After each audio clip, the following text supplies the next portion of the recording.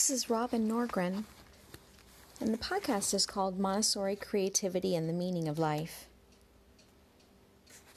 I was reading through um, by, um, Bible study devotion uh, by Eugene Peterson called Solo, and today's was pretty striking to me, and I thought I'd share it with you. The title is called Self Examination. Here's what it says. And it's taken from Proverbs 10 22 to 32. God's blessing makes life rich. Nothing we do can improve on God. An empty head thinks mischief is fun, but a mindful person relishes wisdom. The nightmares of the wicked come true. What the good people desire, they get.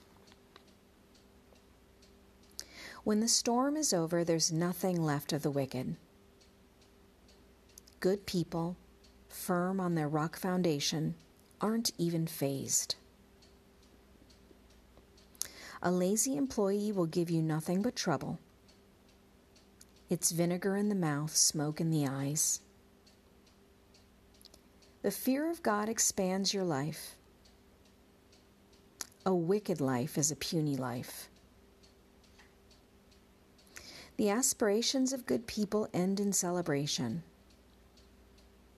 The ambitions of bad people crash.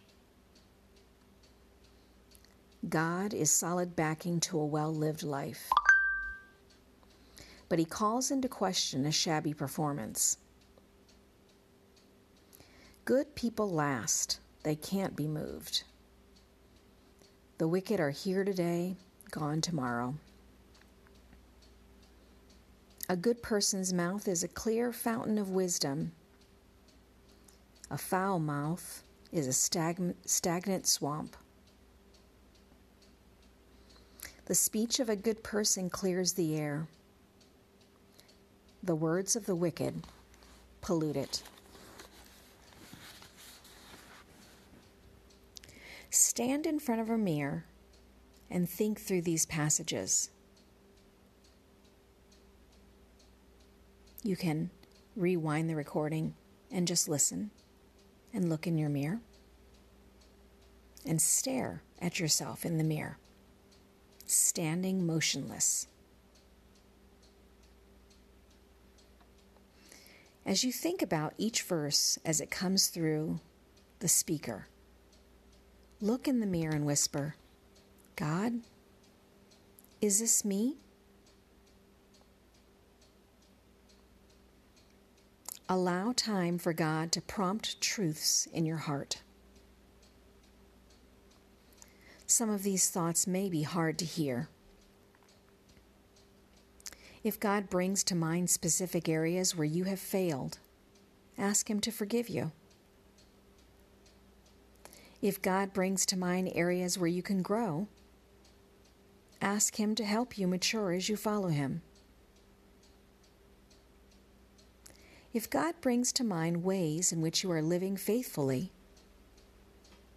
thank Him for His grace in your life.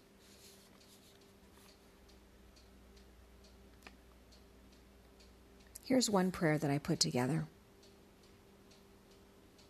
God, I want to be a good person who is not even fazed by the storm. I want my aspirations to be good.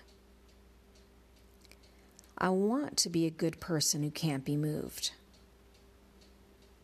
I want my mouth to be a clear fountain of wisdom. I want my speech to clear the air.